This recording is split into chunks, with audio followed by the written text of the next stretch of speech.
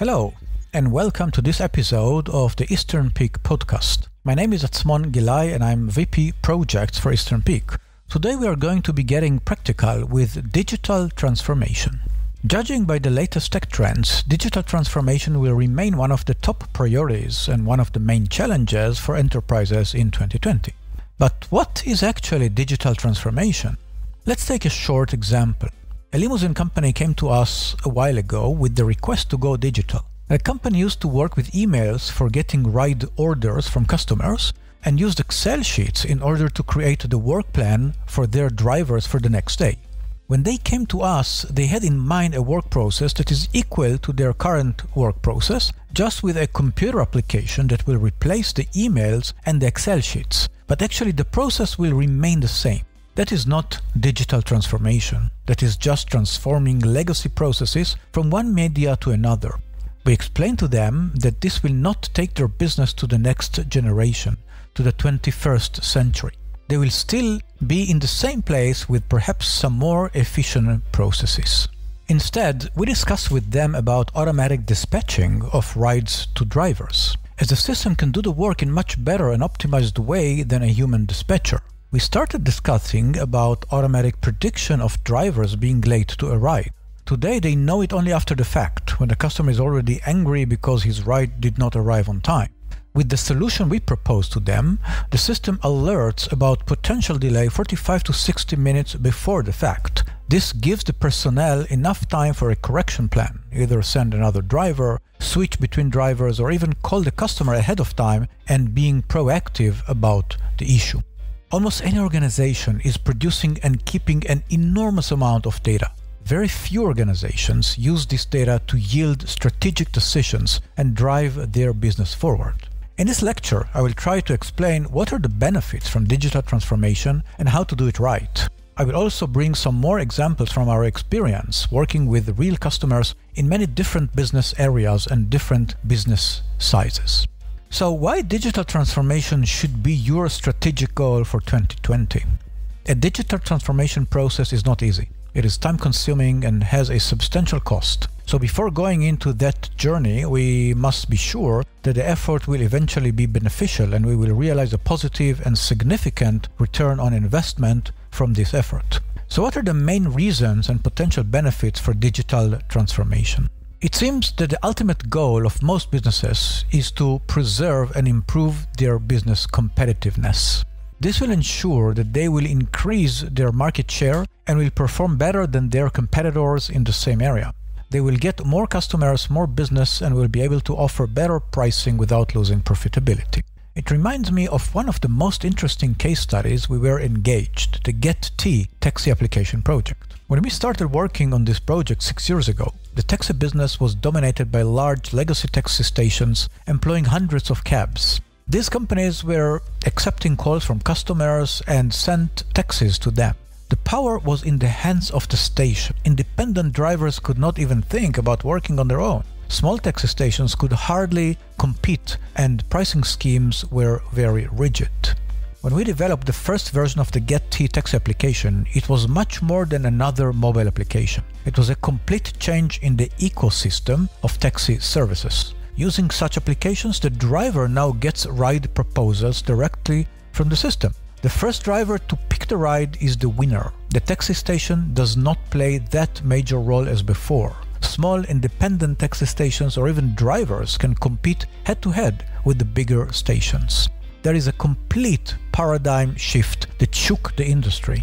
Legacy taxi stations that did not adapt quickly enough to this paradigm change stayed behind and lost their competitive advantage. New contenders emerged. We all know Uber, but there are many other young companies that made their way very quickly to the main stage. What are the main factors improving your competitive edge? These are the main five factors in my mind reduced operational costs, better flexibility in doing business, better resource utilization, better customer satisfaction, and higher customer engagement. I would like to go over these factors using an example of a very interesting digital transformation project we did for the restaurant industry. The main idea was to create a restaurant application where the guests can scan a QR code on the table with their phone and retrieve the restaurant menu. Then they can make the orders directly from their phone. Their orders are then sent to the kitchen immediately. On first sight, you might think, okay, what's the big deal? Just replacing the paper menu with an online menu. But analyzing it, it a bit further, you can discover many advantages both for the restaurant and for the guests. So first of all, I want to discuss about reduced operational costs. Reducing operational costs is crucial for every business. In many industries, the highest operational cost is manpower. Some of these manual processes can be automated. We tend to think about automating mundane tasks, highly structured and repetitive tasks. That is right, but only part of the whole picture. In many cases, an automatic system can do a better job than a human being.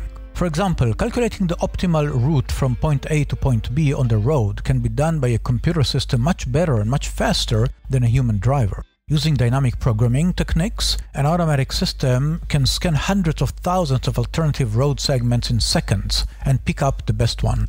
A human being cannot do it. Automatic systems can analyze the stock market 24 by 7 and draw conclusions in seconds. They do not get tired and need no breaks. Using deep learning techniques, automatic systems can learn from millions of examples. A human being will need lifetime to go over a fraction of these examples. However, there are many things that are still done better by people, and sometimes there is no substitute to the human touch when dealing with our customers. In our restaurant application, people can now order using their phone. They do not need a waiter to mediate. They can also pay on their phone and do not need the check.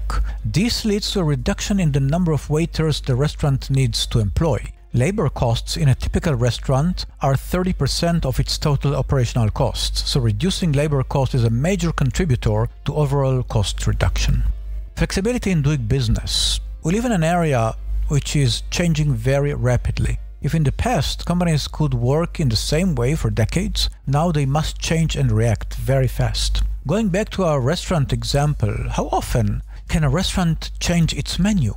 Because the menu is printed, it makes it very difficult to change the menu frequently. Once the menu is online, the menu can change every day or every week.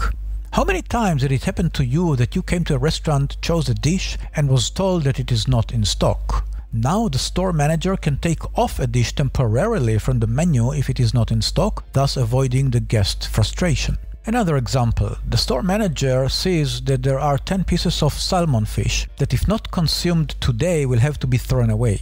He can reduce the price for that dish in real time to improve the chance of being chosen by customers today. Beneficial for the restaurant and follows the trend of waste reduction. Better resource utilization. Every business is using many resources. Optimizing the usage of these resources is crucial both for keeping costs low and to produce excellent products or services. For restaurants, one of the most important resources is its tables. Many restaurants have a peak time between 12 to 14 every day when business eaters are dining. Using the application, guests can order the lunch before leaving their offices. When they get to the restaurant, the food is ready. Their time around the table is minimal, just for eating. No need to order and pay. Thus, more guests can be served by the restaurant in this two hour window at lunchtime, thus increasing revenue. Better customer satisfaction. Happy customers are returning customers. They will spend more money with your company and they will tell their friends or colleagues to purchase at your company as well. When customers look at the digital menu, they can get an estimate when the dish will be ready based on statistical model that we developed that predicts dish preparation time. It is based on past experience and on the current load on the kitchen.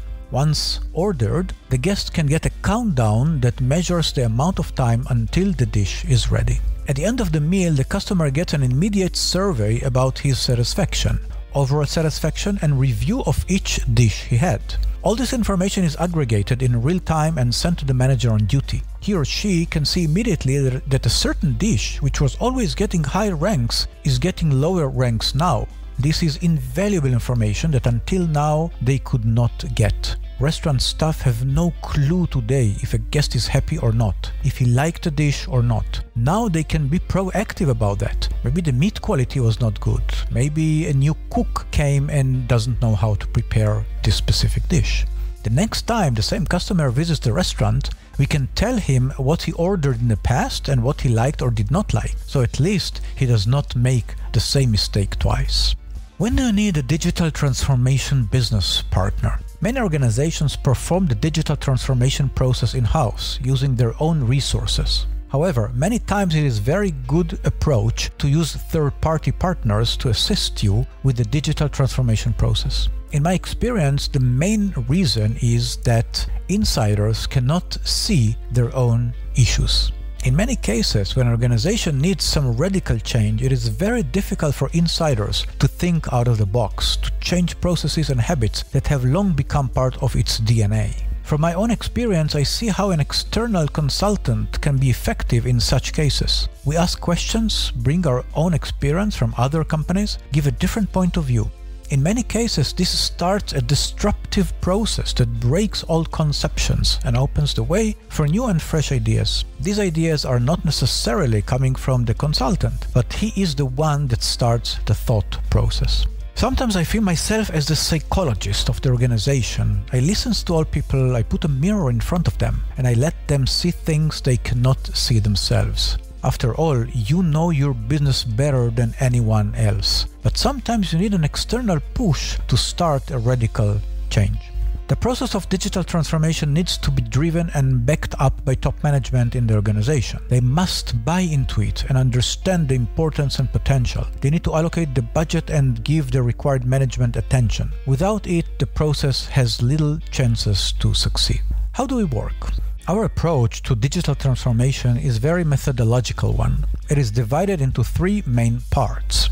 Focused business diagnostics. In this phase, we learn and document the existing state of the organization, its main processes, main stakeholders, departments, hierarchy, organization, culture, interrelations with external organizations and customers. At this point, we create a list of issues that limit the organization's ability to fully exploit its business goals and its growth potential.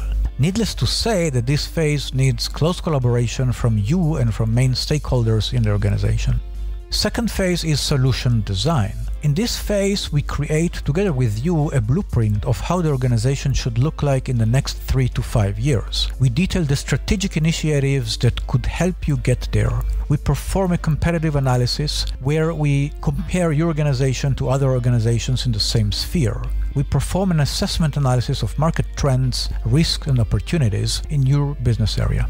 And the third phase is Agile Plan for Digital Transformation. At this phase, we conduct a gap analysis based on your current and target blueprints and identify the initiatives that are strategically important for your organization. We analyze the optimal ways to bridge these gaps, the systems, tools, and processes that should be developed. We recommend which order you should follow to maximize your return on investment and be able to see first results quickly. We assess your risks and how to mitigate them. At the end of this phase, you get a detailed plan that you can start implementing gradually, either by using your own resources or with the help of an external resource. But at that point, your chances of success are substantially higher. I would like to summarize what we have discussed today.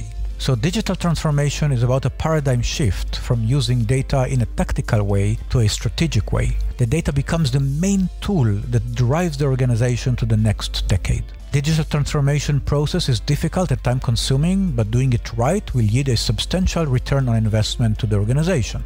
The main goal that can be achieved by digital transformation is to increase your competitive edge in your market. Digital transformation strategy can benefit the organization in the following ways. Reduce operational costs, increase flexibility in doing business, improve resource utilization, improve customer satisfaction, increase customer engagement. A digital transformation partner can help the organization in thinking out of the box and getting rid of old habits and paradigms. Digital transformation process is divided into three main phases. Focused business diagnostics, analyzing the current status of the organization, solution design, developing the desired status of the organization, agile plan for digital transformation, developing the way to get from the current situation to the desired one.